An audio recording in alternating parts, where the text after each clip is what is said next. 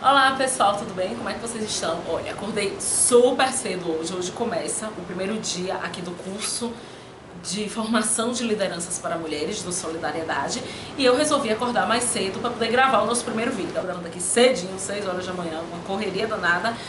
Mas vamos, o que eu queria conversar com vocês é algo que tem me intrigado em relação à crise. E é uma, uma reflexão que eu não tenho algumas respostas e eu queria dividir essa minha angústia com vocês para que a gente possa dialogar juntos sobre isso. É o seguinte, o governo está entrando numa das crises é, mais densas de toda a história do PT no governo. Dilma tem sangrado sem parar nos últimos meses. E o que a gente tem percebido é que não há uma resposta efetiva do partido. O PT, como todos nós sabemos, é um partido que dá um banho na oposição, dá um banho na concorrência.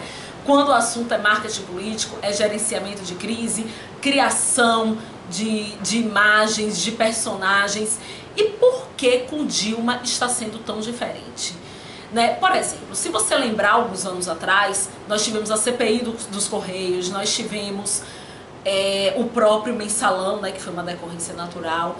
E tudo, e em todos esses momentos, o presidente Lula ele foi extremamente blindado pelo PT. E o PT pegou alguns nomes e jogou na, na fogueira. Né? Alguns nomes foram sacrificados, como bois de piranha, né? bois de piranha, para que o nome do presidente, para que a imagem do presidente, ela ficasse sempre dissociada da crise. E conseguiram. Tanto que a gente via o povo revoltado com a corrupção, revoltado com os mensaleiros, mas dizendo que Lula não sabia de nada. Apartar Lula da existência da crise sempre foi algo que o PT fez e sempre foi algo que deu certo.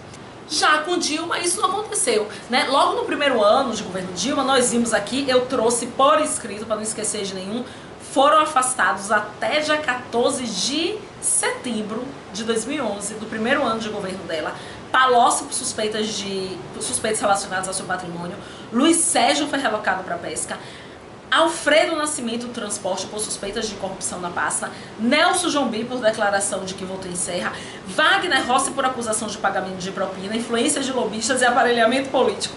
Pedro Novaes do Turismo por dinheiro público para pagar governanta e contas pessoais. Orlando Silva do Esporte por desvio de recursos públicos do programa Segundo Tempo. Faltou alguém, Lupe, que foi aquela pataquada.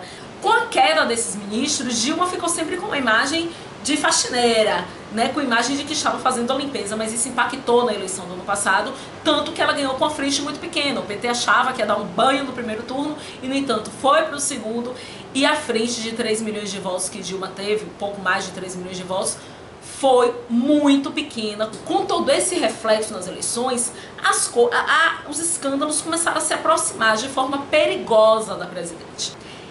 E Palocci, e Lula, e João Santana, parece que não fizeram muita coisa para que se dissociasse a imagem de Dilma da imagem de um governo corrupto. Mas por que o PT, um partido que conhece tanto de marketing político, um partido que conhece tanto dos bastidores dessa articulação e lida também com o discurso ideológico, né, com um discurso que move as massas. Nós temos aí mestres como Mariana Chauí, como o André Singer, que eu particularmente tenho uma admiração muito grande, pela forma como eles conduzem o diálogo com a população, como eles conseguem manipular filosofia, sociologia política em pró do discurso de um político específico em prol de conseguir trazer para o partido uma imagem de algo. E de repente, com Dilma, a gente não tem visto isso acontecer. Dilma está sendo pressionada pelo povo, vai ter que fazer algo, e eu vou lhe dizer uma coisa.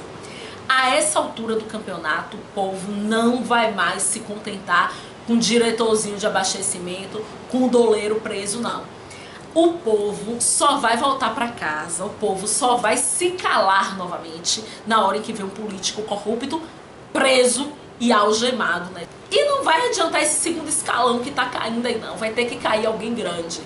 Quando o escândalo se aproxima dessa forma e chega e cai no colo de um presidente da república, alguém muito grande vai ter que assumir. Graça Foster, Gabriele, alguém vai ter que ser o boi de piranha dessa vez, como um dia Dirceu foi, como um dia Genuíno foi, né? Como um dia vários outros petistas foram, para poder salvaguardar a imagem do líder máximo do país, Lula. E essa semana ainda piorou, quando o Paulo Roberto Costa, ex-diretor de abastecimento da Petrobras, falou que achava muito estranho que Dilma, como diretora do conselho da empresa, não tivesse conhecimento do que acontecia. Então, nosso vídeo de hoje é sobre isso.